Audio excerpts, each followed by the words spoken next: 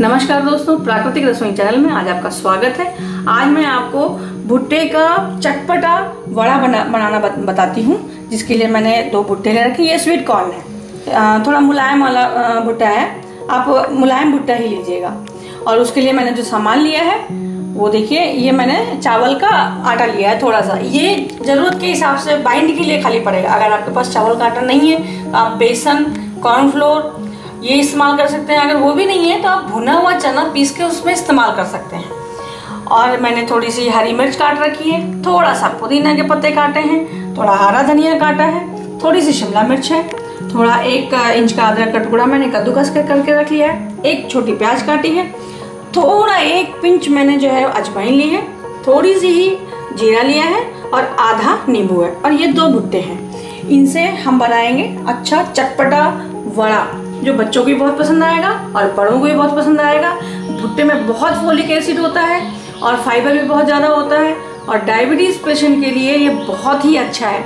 इसमें थोड़ा सा काली मिर्च और थोड़ा सा काला नमक डालेंगे। ऑप्शनल है, आपकी इच्छा हो तो डालिए, क्योंकि वैसे इसको डालने से थोड़ा सा और ज़्यादा चटपटा हो जाता है। इसमें कोई मसाला डालने की ज़रूरत नहीं पड़ती है। और तलने के लिए मैंने सरसों का तेल रखा है। अब मैं बताती हूँ इसको बनाने का तरीका। अब देखिए इस भुट्टे को हम ऐसे कद्दूकस से कद्दूकस कर लेंगे। अगर आपके पास जो फ्रोजन कॉर्न है, जो बाज़ार में मिलता है, इसके बीज जो मिलते हैं, अगर वो है तो उसको आप मिक्सी में दरदरा पीसिएगा। आपको पेस्ट नहीं बनाना है। अगर ऐसा है तो आप इसको कद्दूकस कर लीजिए। तो चलिए, मैं आपको इसको कद्दूकस करके फिर बताती हूँ। आप मोटे वाले से कद्दूकस करिएगा। थोड़ा मोटा ही रहेगा तो ज़्यादा अच्छा रहेगा।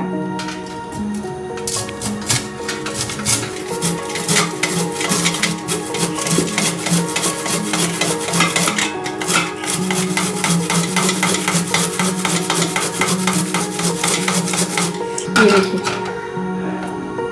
ऐसे दरदरा दरदरा आप इसको कद्दूकस कर लीजिए। मैं पूरा कद्दूकस कर लेती हूँ तब तक।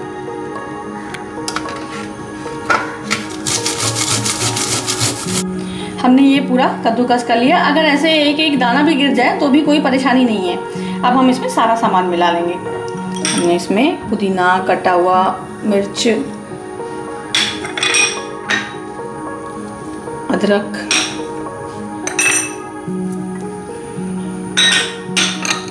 ये शिमला मिर्च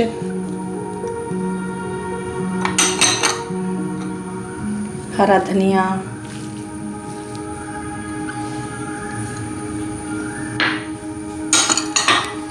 अजवाइन और जीरा आप चाहें तो उसमें थोड़ी हल्दी भी डाल सकते हैं हल्दी भी ऑप्शनल है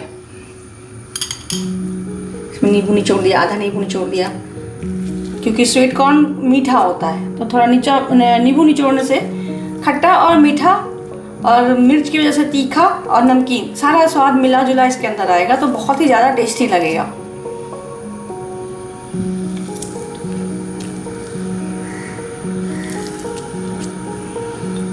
हम इसमें डालेंगे नमक। नमक आप अपने स्वाद के अनुसार डालिएगा। आप बनाने से पहले एक बार टेस्ट कर लीजिएगा। मिक्स करने के बाद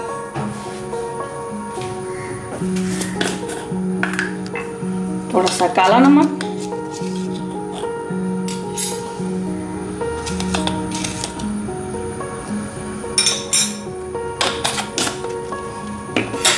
और थोड़ा थोड़ा चावल का पाउडर मिला के हम मिक्स करेंगे। सिर्फ़ हमको बाइंडिंग के लिए चाहिए। चावल का आटा ज़्यादा नहीं होना चाहिए। जब हम बाइंड करेंगे, हमको अगर बाइंड हो जाएगा अच्छे से तो फिर और मिलाने की ज़रूरत नहीं है, क्योंकि सब में पानी है।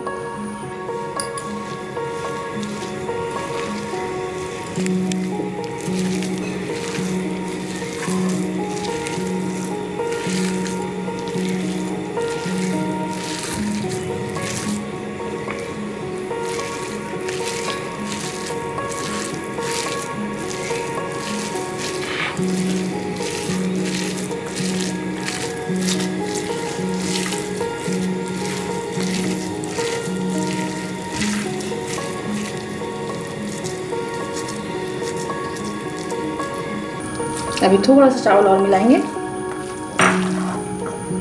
नहीं तो तेल में डालेंगे तो फट जाएगा।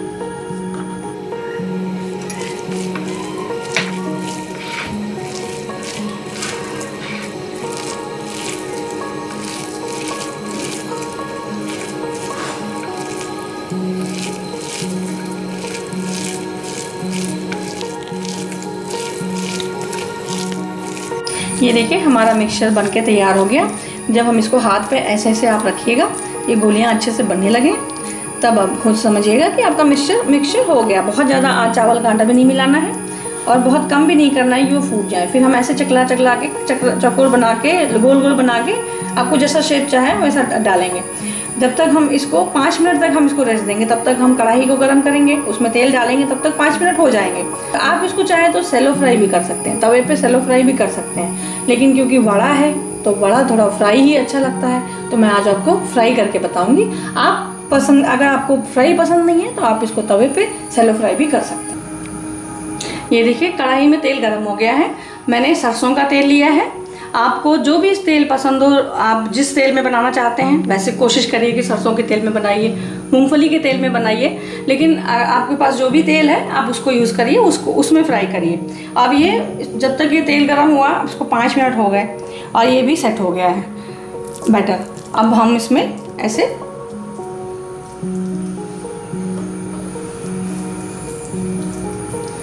वड़े की तरह गोलियाँ बना के ऐसे थोड़ा सा गोल कर दीजिए और फिर गरम तेल में डालेंगे।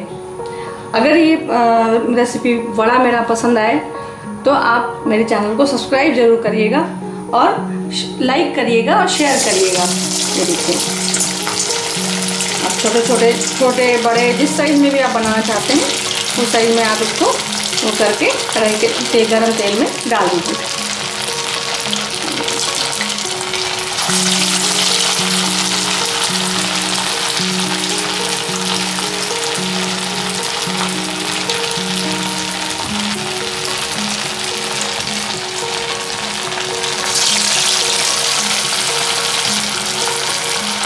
फिर छोटे छोटे चार चार बड़े एक साथ बना के आप इसको फ्राई कर लीजिए।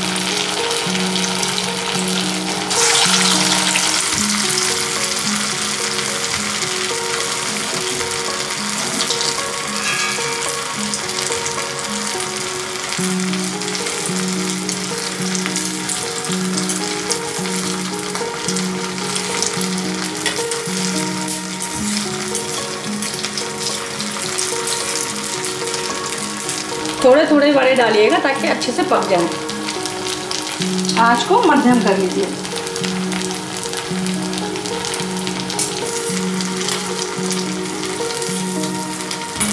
इस तरह से बड़े बनाने पे बच्चों को भी बहुत पसंद आते हैं, बड़ों को भी आप सुबह के चाय के समय, शाम की चाय के समय, जब भी आपका खाने का चटपटा कुछ खाने का मन करे, आप इस तरह से बड़े बना के ज़रूर खाइए।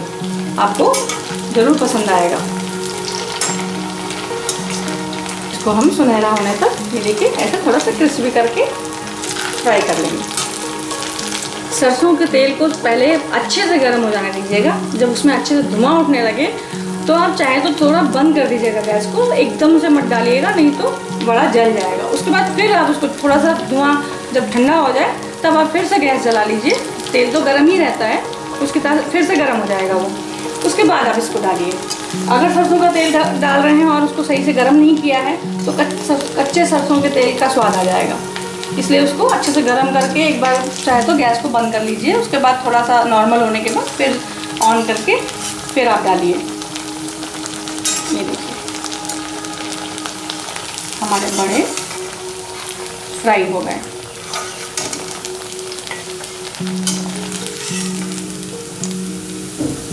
अब इसको अच्छे से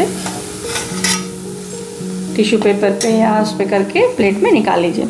और मैं इसी तरीके से बाकी वड़े भी बना के, तल के, निकाल के फिर आपको दिखाती हूँ। ये देखिए, हमारे बड़े अच्छे से बन के तैयार हो गए हैं। आप चाहें तो इसको सॉस के साथ खाइए, चाहे हरी चटनी के साथ खाइए। हरी चटनी की वीडियो मैंने पहले डाल रखी है। आप मेरे डिस्क्रिप्शन बॉक्स में जाके देख लीजिए। और इसको आप चाहें तो बच्चों को टिफ़िन में दीजिए। चाहे चाय के साथ खाइए, ये बहुत ही अच्छे लगते हैं। मुझे उम्मीद है कि आपको ये रेसिपी बहुत पसंद आई होगी। अगर आपको पसंद आई है तो आप कमेंट बॉक्स में जाके अपने विचार रखिए। और कोई सुझाव देना है तो सुझाव भी दीजिए। और नई वीडियो के नोटिफिकेशन के लिए आप बेल आइकन को ज़रूर दबाइए। जब तक मैं नई वीडियो लेकर आती हूँ, तब तक के लिए नमस्कार।